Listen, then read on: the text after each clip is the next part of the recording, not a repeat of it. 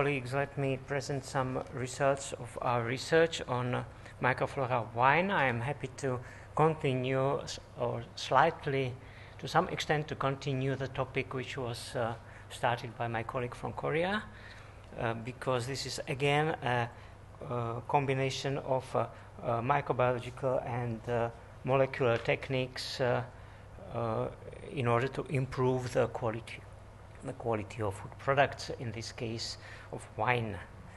Uh, Slovakia is not a typical wine producing country, and this is also why our ministry tries to help the uh, wine producers to uh, find a place uh, in the European market and uh, to improve the quality of the some specific varieties.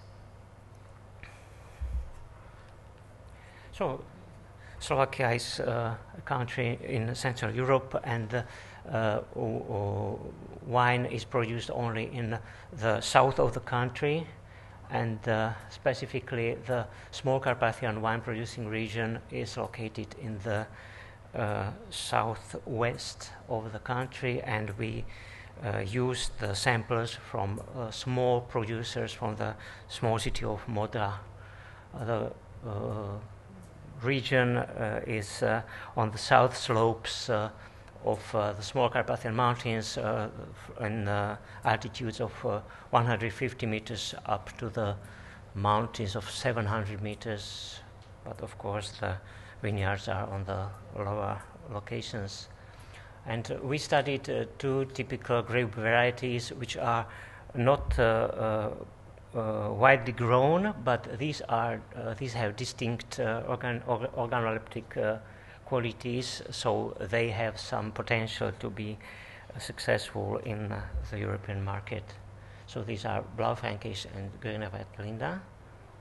And we studied uh, the dynamics uh, of the uh, microflora. it means we started from grapes using the wash the, the, three phases of uh, wine production from must to wine. Uh, of course, it is well known that not only the quality of, uh, of the grapes determines the quality of wine, but of, an important role is played by microorganisms, mostly by yeast, but also bacteria play a role not only in a negative way as, uh, as uh, uh, spoilage of wine by acidic bacteria, but also in a positive way in the production of volatile aroma, aroma, active compounds and in malolactic fermentation. the the analysis of microflora in wine is uh, uh, an analytical challenge mostly with bacteria because the counts are much lower than for yeasts. And also uh, if using uh, culture independent techniques uh, based on DNA analysis it is quite difficult to uh, use them for bacteria because uh, the uh, concentrations are much lower uh, so uh, regarding a culture-based approach, which is a um, classical uh, approach, we where we had to use various culture media which produced different samples of microflora and then uh, these were grouped uh, by fluorescent ITS PCR and the selected colonies were then uh, identified uh, using a classical approach uh, by PCR amplification of 16S rDNA and comparison with by BLAST with a GenBank database. So uh, this this was the uh, the, the uh, other approach, which is known to be complementary, was based on DNA extraction, and because the uh, concentrations of bacterial DNA are much lower, we had to use a semi-nested approach by PCR, and then uh, in order to uh, achieve high precision of identification, we used uh, the cloning approach, and in order to reduce the, the extent of sequencing, we used the grouping of clones and then sequencing just the representative clones. Uh, so uh, regarding results, uh, so uh, you see the overall quantitative uh, results on bacteria uh, detected on the four culture media, and these were members of 16 genera on the first medium and much much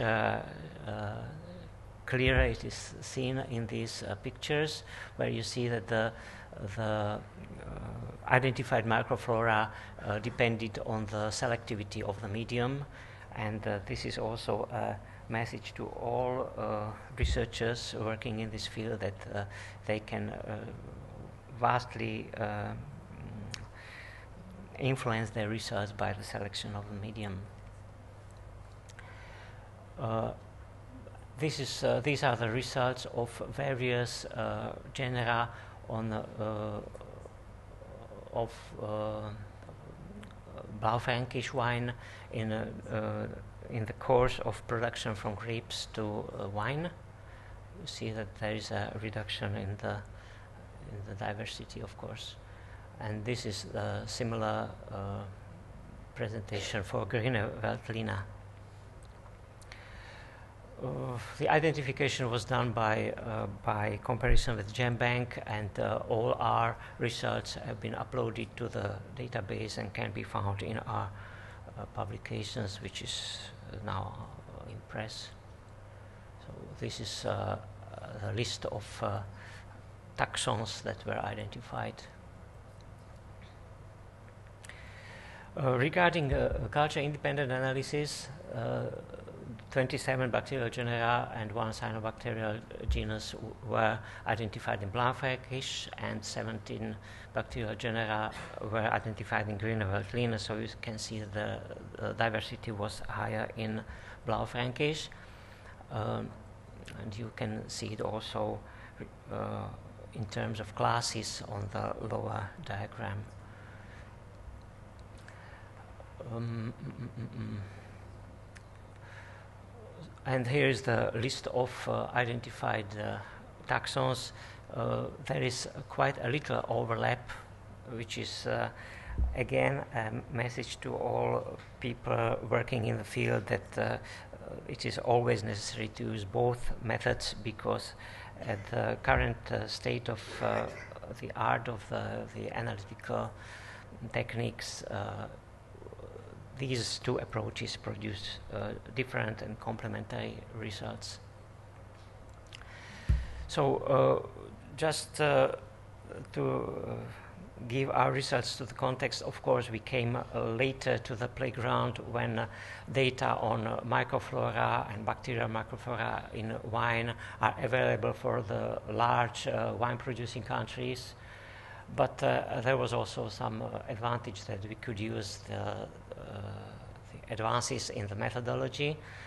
And uh, at uh, this stage, we did not use next generation sequencing because our experience says that at the current state of uh, the art, uh, we still get better and more precise results by our approach, and we have to wait a few years until the next generation sequencing uh, develops to the state where, with with less uh, labor, uh, less experiment, uh, experimental work, we shall be able to obtain the results of similar quality.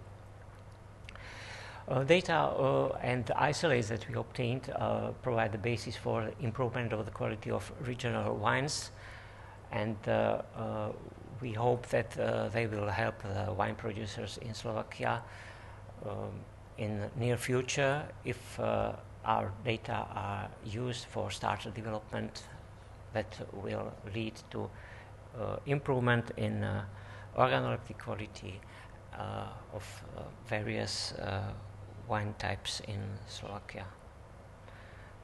Thank you very much for your attention. Thank you. Thank you. Interesting study. Just one quick question. With the different kind of microbiota that are present in the, the vine, they are likely to come from the soil, and they're synthetic from different regions. Do you think such cha- exchanges of this microbiota from one to the other will actually generate the same kind of wine? Course, uh, this is quite dependent on individual strains, not only on uh, uh, species and uh, genera. Of course, there might be some uh, specific genes that are typical for, for certain bacteria, and they can be transferred somewhere also in a geo- geographical way. Uh, we are very happy that now uh, the, the availability of uh, whole genome sequencing uh, this completely changes the situation and uh, the interesting strains can be characterized by this and uh, we hope that this can lead to a development of some starters which can be of course used also in an international way uh, it is not necessary, necessary to uh, uh, to put them in terrain. It's enough if they are used in the production.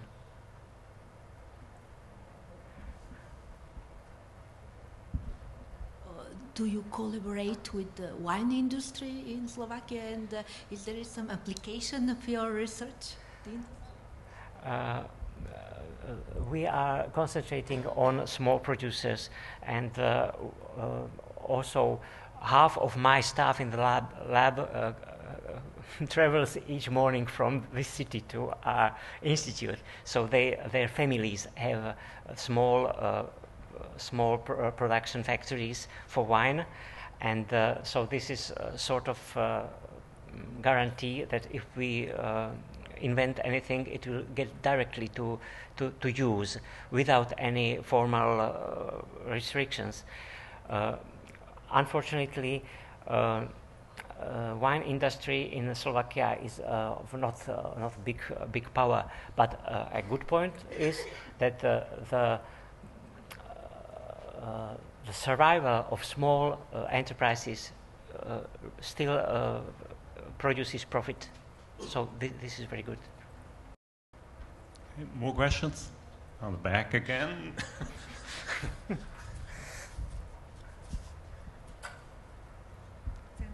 Thank you very much. Uh, what is color and taste always this wine? What is color and why?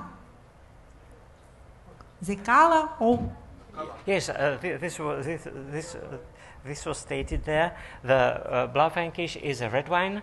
It was also written in, r- in red color, and the uh, and the Grüner Veltliner is a white wine. Yes, but it's difference of contaminated, not contaminated.